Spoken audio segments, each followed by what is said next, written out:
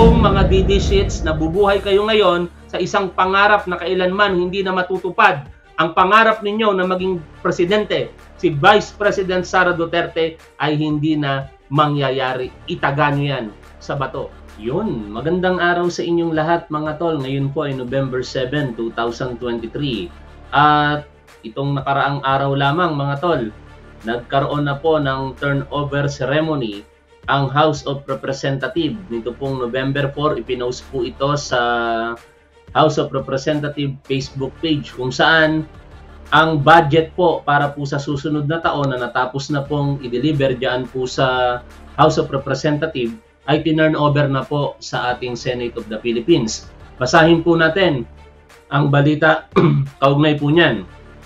In a turnover ceremony held at the Speaker's Social Hall, the House of Representatives under the leadership of Speaker Ferdinand Martin Romualdez today formally handed over to Senate President Juan Miguel Subiri the 2024 General Appropriations Bill or GAB which the bigger chamber approved with 194.5 billion pesos in realigned funds to boost the country's national security, protect Filipinos from global inflation, and ensure food security.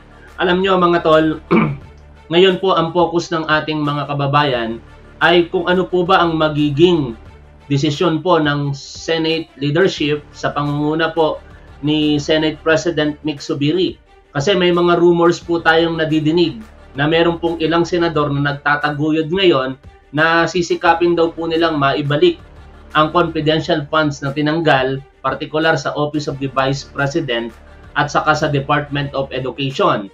Yan ba ay maaaring mangyari pa sa Senado? Meron pong isang senador, ito pong si Senator Chis Escudero. At ayon po sa kanya, very unlikely daw po iyan na mangyari sa Senado. Pakinggan po natin ang pahayag ni Senator Chis Escudero nang siya po ay ma-interview po nitong si Karen Davila kaninang umaga sa programa po nito sa ABS-CBN.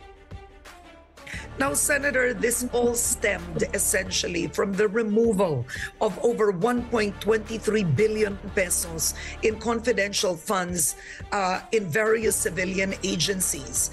And of course, we know that the OVP, the Department of Education, that's headed by no less than Vice President Duterte, the DA, the DICT, the DFA, they will get zero confidential funds for 2024. You will be deliberating on this at some point. Let's start first with this the removal of confidential funds in these confidential agencies. Do you agree with the removal? Well, let's put it this way, Karen. Usually the House um, is more lenient with the budget and with the policies and bills of the executive than the Senate is. That is by tradition and that is by history. Because the House has always been allied with the administration. Um, we have seen that for the past several decades, and, and as you know too, covering the House and the Senate and Congress. Um, so I doubt, Karen, if the Senate will be more lenient to the administration than the House um, is. Now, if the House removed the confidential funds from these civilian agencies, I doubt if um, the Senate will restore it. Number two, let's distinguish between... Yan. Malinaw na po ah. Pahayag po yan ng isang senador na si Chis Escudero na hindi po siya naniniwala na babaguhin pa ng Senado ang naging desisyon po ng Kongreso. Ibig sabihin, medyo pabor po ito sa ating mga kababayang Pilipino dahil ang kagustuhan po ng mas nakakaraming Pilipino ay tanggalan ng confidential funds ang mga civilian agencies katulad po ng Department of Education at Office of the Vice President.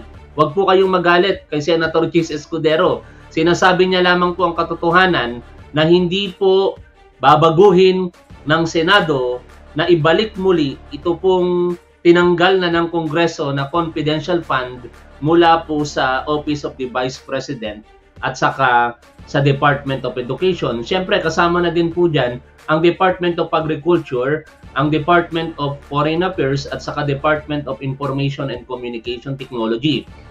Tandaan po natin, sila po ay mga representative po ng ating bayan sa House sa lower chamber at ang senador naman, ang mga senador ay para po sa upper house. Kaya kung ano po yung kagustuhan ng taong bayan, eh most likely yun po yung gugustuhin ng mga senador na ito na mangyari sa pagtupad po ng kanilang mga tungkulin.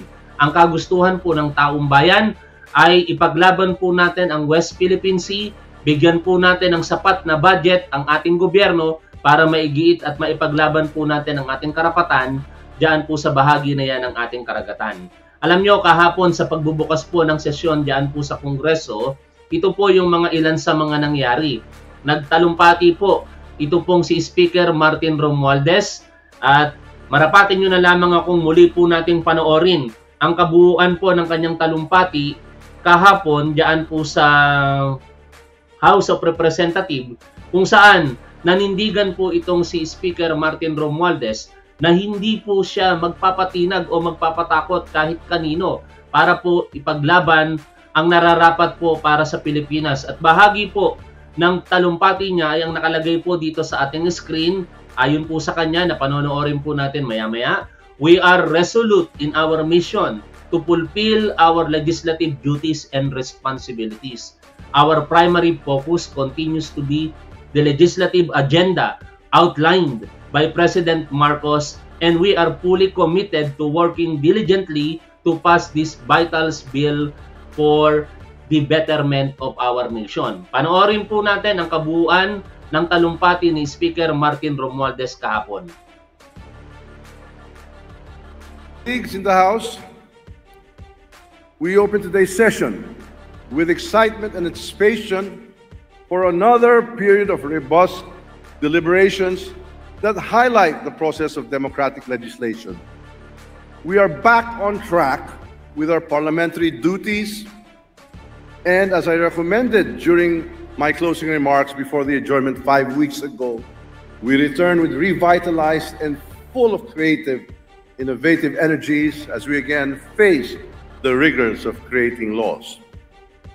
I am filled with emotions, primarily of pride and confidence, for the list of achievements we have delivered in the name of progress, stability, and equality. These achievements include the approval of, of all 20 LEDAC priority measures three months ahead of schedule, the passage on third and final reading of the 2024 General Appropriations Bill in a timely and transparent manner, and the approval of 10 of the 17 measures identified by President Ferdinand R. Marcos Jr. in his State of the Nation address in July. All these are truly commendable for the institution where passions and power struggles permeate the complicated process of lawmaking. Our efforts did not go unrecognized, as evidenced by the fact that according to the latest surveys by reputable polling groups, we received the highest performance rating of the third quarter of 2023. That's all about you, the House. I'm also elated to report that the most recent survey by Okta Research indicate we are on the right track in identifying and addressing the problems and issues that confront our kababayans in their daily lives.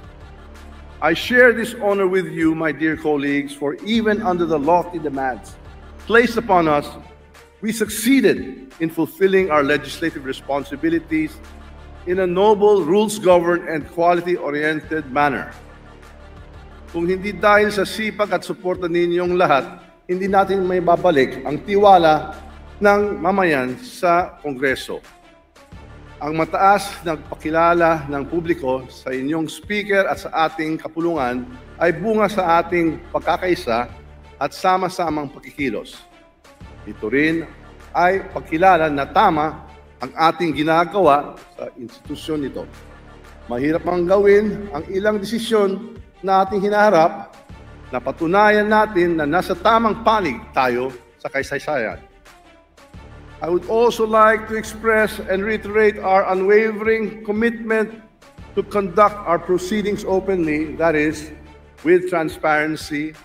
And as your humble leader and servant, I am fully aware of the magnitude of dedication that each member presents to our nation and the Filipino people. Hence, I am prepared to stand before anyone and vehemently defend our actions and decisions, even in the face of issues that threaten our institution's integrity.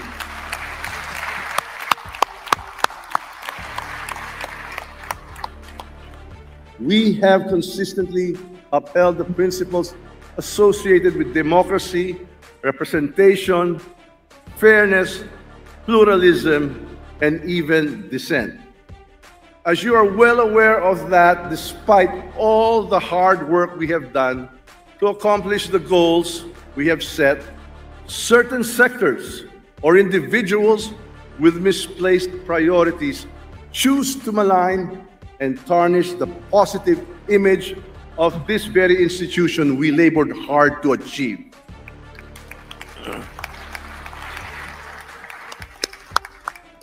My fellow legislators, it is true that we, the members of this 300 plus strong chamber, compose a cluster of high minded individuals possessing a diversity of passionate views and different political perspectives. However, we remain steadfast as we set our differences aside and become fiercely united whenever the institution we courageously devote our efforts to, or any individual member of this chamber for that matter, is being threatened by opportunistic motives that aim to distract us from fulfilling our mandate.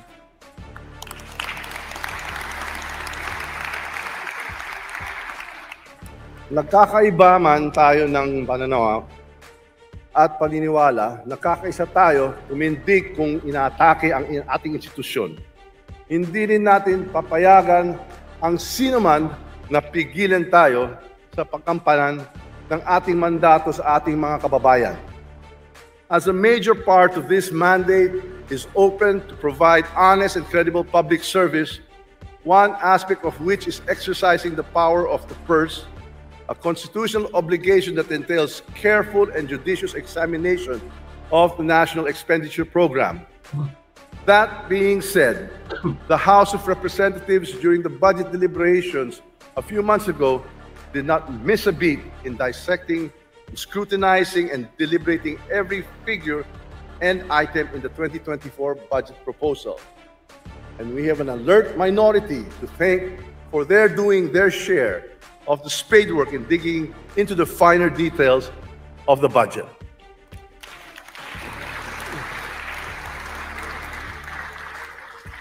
The House was never lenient, nor did it favor anyone.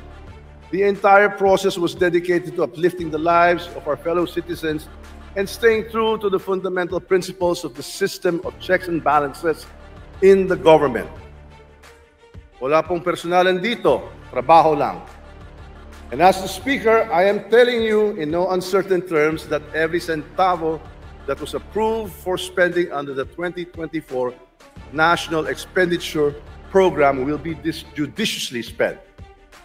Let not our hard work be undermined by a dissatisfied few whose only intentions to sow divisiveness and instead let our output speak for our loyalty to our country the Constitution, and the entire Filipino.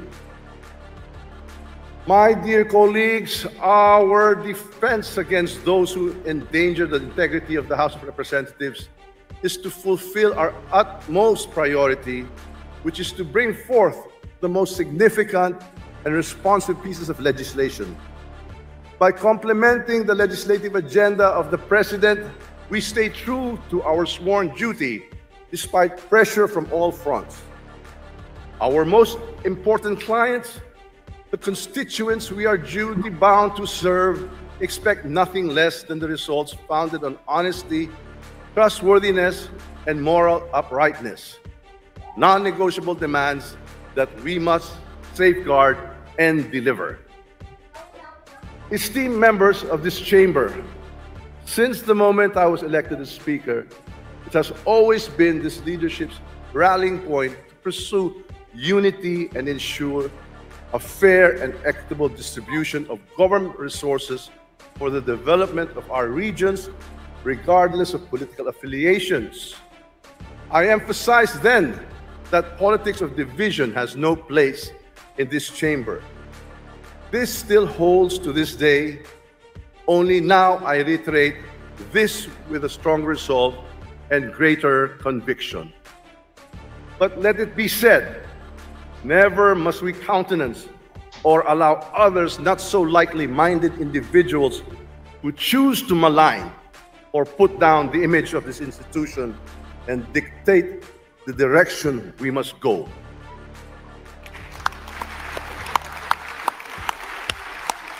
I urge everyone to really rally behind our true moral compass, the will of the Filipino people.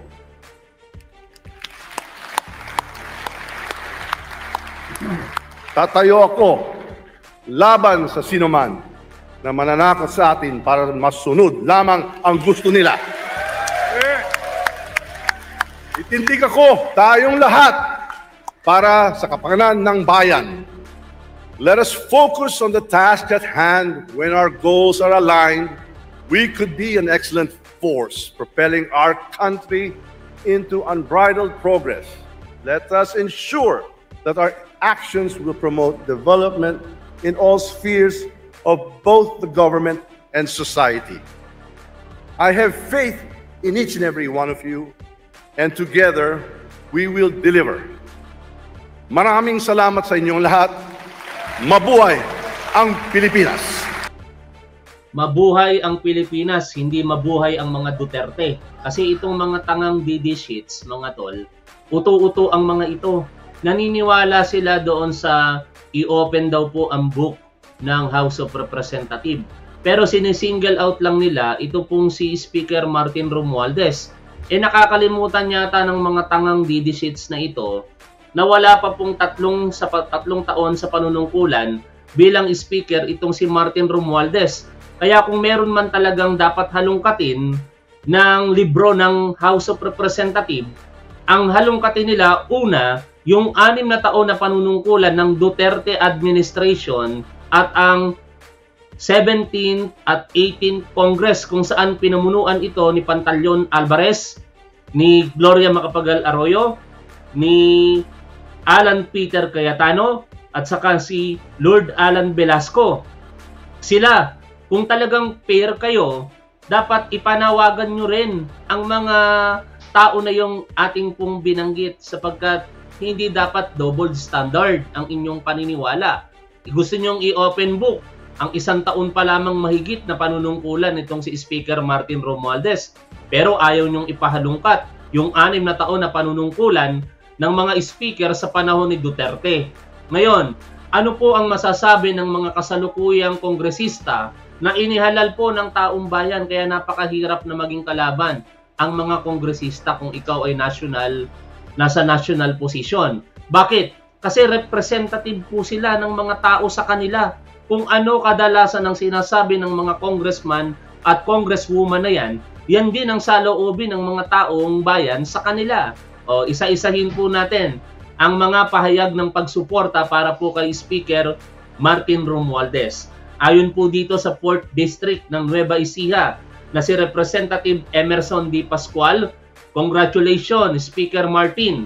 Patuloy ang pagtitiwala ng taong bayan kay Speaker Martin Romualdez para sa kaalaman ng mga mamamayan ng ikaapat na distrito ng Nueva Ecija, ang halos lahat ng ayuda at tulong na naipararating ko sa mga tao ay bigay at tulong ng ating kaibigang si Speaker Martin. Speaker, ako at ang buong distrito ay nagpapasalamat sa iyo at kami ay nakasuporta sa iyong lahat ng adhikain para sa ikagaganda at ikauunlad ng buhay ng mga Pilipino. Samantala si Representative Lani Mercado Revilla naman ng 2nd District ng Cavite Province nagpahayag po ng mga sumusunod. Ang pagtaas ng trust and performance ratings ni House Speaker Martin Romualdez ay di lamang patunay ng kanyang kasipagan at katapatan bilang public servant. Ito rin ang nagsisilbing inspirasyon para sa aming lahat na mga mambabatas na pagbutihin pa ang pagganap sa aming mga tungkulin sa taong bayan. Ayon naman po kay Representative by Dimple E. Mastura ng Maguindanao del Norte Lone District kasama sa pagbalangkas at pagsabuhay ng ating mga pangarap ay ang matatag na gabay ng mababang kapulungan. Sampu ng aking mga kasamahan sa ika-labinsyam na kongreso sa pamumuno ni Speaker Martin Romualdez. Ikinararangal kong maging parte ng mababang kapulungan na may paninindigan at nakikinig sa pulso ng masa. Ayon naman po kay Representative Joseph Jojo L. Lara ng 3rd District ng Cagayan, congratulations to the 19th Congress of the House of Representatives led by our Speaker Ferdinand Martin G. Romualdez on the 6% increase in both trust and performance ratings garnered by the lower house from the Okta Research Tugon ng Masa Survey from the second quarter to the third quarter of 2023. These ratings are manifestations of the Filipino people's trust and confidence in the leadership of Speaker Romualdez and testimonies to the commitment of the 19th Congress to promote the Filipinos' interest and welfare. Ayon po kay Representative Loreto S. Amante, 3rd District po ng Laguna, Speaker Martin G. Romualdez' dedication to bipartisan cooperation and his ability to guide the House through complex issues are now evidently felt by our fellow countrymen as reflected in the recent Octa Research survey his genuine desire to promote a progressive nation is gaining momentum and is positively impacting the lives of our people. I am proud to stand with our speaker in our shared mission to serve our constituents and uphold the values that will ensure a better and stronger republic. Ayon po kay Representative Arnan C. Panaligan ng 1st District ng Oriental Mindoro, the House of Representatives under the leadership of Speaker Ferdinand Martin G. Romualdez, has passed major legislative measures pertaining to the economy, tax and fiscal reforms, agriculture, agrarian, emancipation, education, healthcare, environmental protection, and other vital sectors that impact on national development. Congratulations, Speaker Romualdez, for the high trust and performance ratings in the latest Okta Research survey that reflect on the performance of the House of Representatives. We firmly support the leadership of Speaker in the House of Representatives. At ayon naman po dito kay Representative Brian Raymond S. Yamsuan ng Bicol Saro Party List, Speaker Romualdez has demonstrated how inclusive and action-oriented leadership along with the degree of professionalism can result in record accomplishment for the House of the People.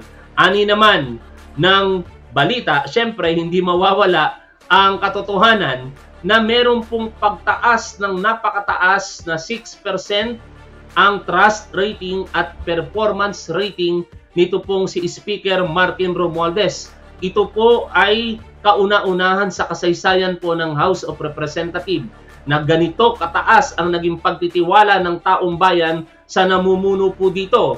Kasama po sa mga nagbigay ng pagsuporta ay ito pong si Representative Raul Angelo Gil Di Bongalon ng Ako Bicol Party List. The consistent rise in Speaker Romualdez trust ratings reflect the trust and confidence that the Filipino people have placed in his leadership. The Speaker's inclusive approach open communications and willingness to listen to the concerns and aspirations of his colleagues have created a positive and productive atmosphere within the House of Representatives. His vision for a better Philippines coupled with his dedication to serving the people has resonated with the Filipino people. Dagdag naman po nang nagbitiw lamang sa pagka-miyembro ng PDP laban, ito pong si Senior Deputy Speaker Representative Aurelio Dong D. Gonzales Jr. Ayon po sa kanya, the surge in the trust and performance ratings of Speaker Martin G. Romualdez means that the public supports the realignment of confidential and intelligence funds to security agencies. Yon ang hindi nakikita ng mga DD sheets. Yon ang hindi nakikita ng mga sinungaling na nag uh, sa tunay na issue. Ang taong bayan ayaw doon sa paggasta ng confidential funds nitong si Vice President Sara Duterte. Ang 125 million pesos confidential funds noong December 2022 ay ginasta lamang nitong opisina niya sa loob lamang ng labing isang araw. Nagalit ang taong bayan. Siyempre, ang kagustuhan ng taong bayan, alam po iyan ng kanilang mga kongresista. Kaya naman ang mga kongresistang ito ay nagpakita ngayon ng pagsuporta sa kagustuhan ng taong bayan at nirealign po nila ang budget mula po sa OBP, DepEd, DFA, DICT at DA patungo po sa National Intelligence Coordinating Agency, sa National Security Council, sa Department of Transportation at saka sa Philippine Coast Guard. Ang hakbang po na yan ay tama, lalong-lalo na sa kasaysayan po ng ating bansa na sa loob ng anim na taon pinabayaan ng Duterte administrations ang ating pag-iit ng karapatan at pakikipaglaban sa karapatan po natin diyan po sa West Philippine Sea. Ayon pa po dito kay Congressman Gonzales, the Octa Research 2023 third quarter survey was conducted between September 30 and October 4. That's when the controversy around the House decision to reallocate CIFs from civilian offices to agencies having to do with national security was brewing. Kaya makikita po ninyo kasinungalingan ang sinasabi ng mga DD sheets po na ito. Nagalit ang taong bayan kay Speaker Martin Romualdez. Hindi po. Kung meron mang kinagagalitan ng taong bayan ngayon, ang mga Duterte po iyon sa pangunguna nitong si Rodrigo Duterte sapagkat tinawag ni Rodrigo Duterte na the most rotten institution ang House of Representatives kung saan ang milyong-milyong Pilipino ay bumoto sa bawat kongresista nila sa kongreso. Kaya kung sinabihan nitong si Rodrigo Duterte na pinaka-rotten institution, eh parang sinabihan na rin nila na lahat ng mga Pilipino na bumoto sa mga kongresistang ito ay mga tatanga-tanga. Kasama po sa nagbigay ng pahayag ng pagsuporta ay ito pong si Representative Geraldine B. Roman ng Bataan 1st District. Ayon po sa kanya, hindi po katakataka at deserve na deserve ang taas ng inyong trust and performance rating dahil sa ilalim ng inyong liderato ay nagkakaisa at focus kaming mga miyembro ng 19th Congress sa paghahatid ng serbisyong may puso sa mga Pilipino. Mabuhay po kayo at ayon po kay Representative Ramon Holo B. Revilla III, ang pagtaas ng inyong performance and trust ratings ay nagpapahiwatig ng pagtitiwala ng taong bayan sa kakayahan ng House of Representatives na pagsilbihan sila. Through your leadership, patuloy tayong magsisilbi sa bayan at mag-aakda ng mga batas na higit na makakatulong sa pag-unlad ng ating bansa at mga kababayan. Congratulations, Speaker Martin Romualdez. Ayon naman po kay Representative Patrick Michael D. Vargas ng 5th District ng Quezon City, congratulations House Speaker Martin Romualdez. Patunay ang patuloy na pagtaas ng iyong ratings at mas lumalaki at lumalalim na tiwala ng ating mga kababayan sa iyong liderato sa Kongreso. Proud na proud po kami na makapaglingkod sa ilalim ng iyong pamumuno sa dami ng ating natutulungan, hindi lamang sa aming distrito kundi sa buong bansa. Dagdag pa ni Representative Ernesto Ernix M. Dionisio Jr. ng Manila Pers District. The recent survey conducted by the Octa Research Tugonang Masa Survey is a testament to the strong and efficient leadership of Speaker Martin Romualdez. As a neophyte congressman, I am personal witness to the sheer determination of the Speaker to reach out and deliver the services to the people. I stand by the fact that under this strong leadership, the House of Representatives is and will forever be the House of the People. I am grateful and very proud to be a part of the 19th Congress because at the core of its leadership is the heart to serve the people. Congratulations, Speaker Martin Romualdez. May you continue to touch lives. Yan po ang mga pahayag ng ilang mga kongresista na mga namumuno sa ating bayan. Kaya makikita po ninyo rito na kasinungalingan po ang sinasabi ng mga DD sheets na ito na wala daw pong tiwala ang taong bayan para po kay Speaker Martin Romualdez. Hindi po nagsisinungaling ang damdamin ng taong bayan at makikita nyo naman from time to time sa lahat po ng ating mga programa na kapag ang pinag-uusapan ay West Philippine Sea, ang damdamin ng taong bayan ay galit para sa mga Duterte.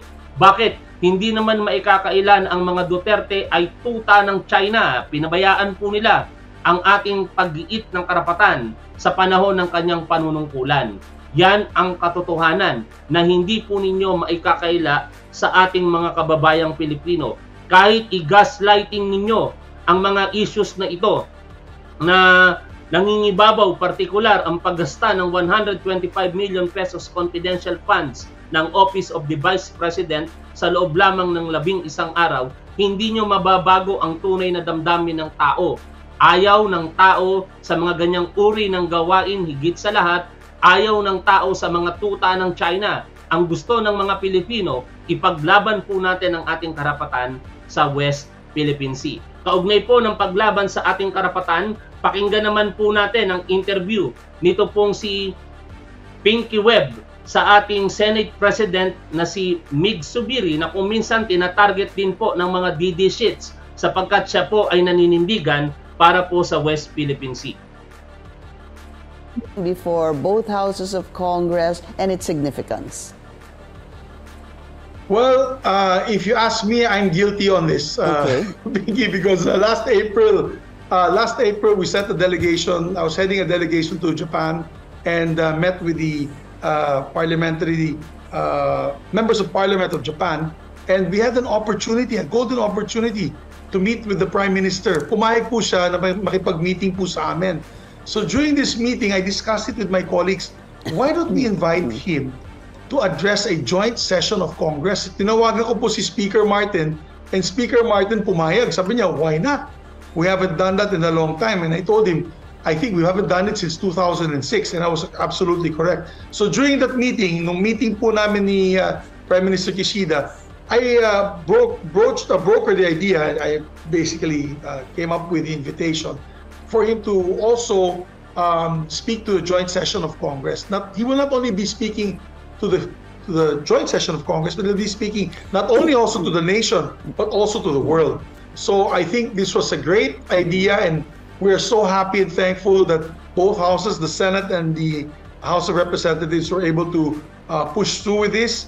Napakaganda po ng mensahe niya. As you, you've heard, uh, uh, Pinky, all the uh, goodies that he had uh, offered to the Philippines, uh, the uh, 600 billion uh, yen, 600 billion yen uh, ODA package, which is uh, 225 billion pesos, the 12 ships that he already has given uh, the Philippine Coast Guard. And by the way, because of this ship, he's adding additional five more 97 meter ships uh, for our Coast Guard um, the delivery of uh, a very, very comprehensive warning and control radar to the Philippine Air Force, as well as for the Navy next year. And this is a very efficient uh, radar system which can actually monitor small little boats coming into our territory all around the archipelago.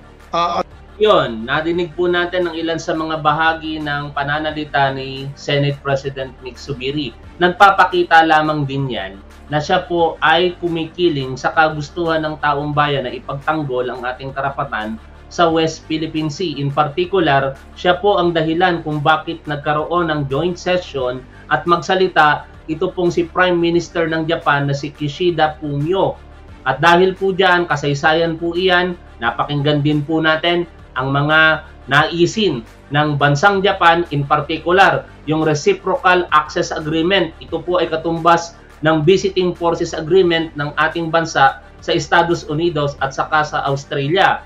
Ang Reciprocal Access Agreement, magbibigay po ito ng pantay na kooperasyon at interoperability para po sa ating mga military troops at military ng Japan nang sa ganon, maisulong po natin ang interest po natin, ang interest po nila when it comes to security and defense, lalong-lalo na po diyan po sa West Philippine Sea.